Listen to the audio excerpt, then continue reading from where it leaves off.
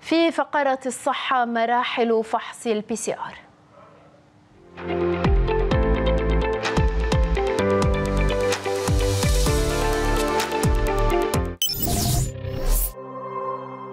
جائحة كورونا الاستثنائية فرضت على المستشفيات إجراءات استثنائية منها فصل مختبر خاص لفحوص الكورونا. ال molecular lab اللي هو مختبر منفصل عن مختبرنا الأساسي نحن فصلناه عن الطابق الثاني لعدة أسباب. أهم شيء هي البنى التحتية اللي مطلوبة كرمال المختبر يكون آمن. إذا تسمع صوت صوت الهواء نحن ب negative pressure.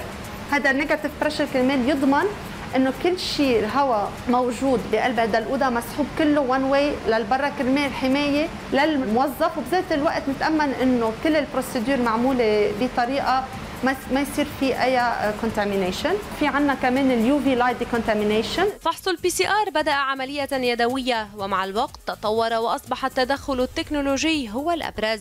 أول étape هي نشيل الحمض النووي. كرمال نقدر to detect الفيروس الموجود بالعينة هو procedure نحن عندنا إياها semi automated في part بتتحضر بس مثل ما شايفين مع ماريا بتشيله بتشتغلوا بتحطوا بهودي ال wells اللي دقيقين وفي بتحط له ال reagent بتاخذ تقريبا 10 ل 15 دقيقة.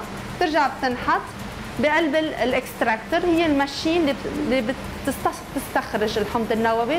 بتاخذ تقريبا 22 دقيقة من أسرع الماشينات اللي موجودين عندنا، نرجع بنحضر ال PCR plate في part manual تقريبا نص ساعة، بترجع بتنحط على ال machine، ال machine عندنا بتاخذ تقريبا 96 عينة.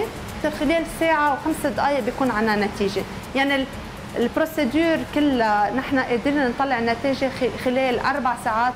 التقنية متقدمة لضمان نتيجة دقيقة. نحن كان detected 3 genes حسب المنظمة الصحة العالمية. لازم يكون عندنا اثنين من أصل ثلاثة positive عم نقدر نلقطهم. هذا الشيء كمان بيضمن على الأكيد نقدر نلقط. إذا المريض بعده مبلش من الأول أو حتى إذا المريض بعده خالص.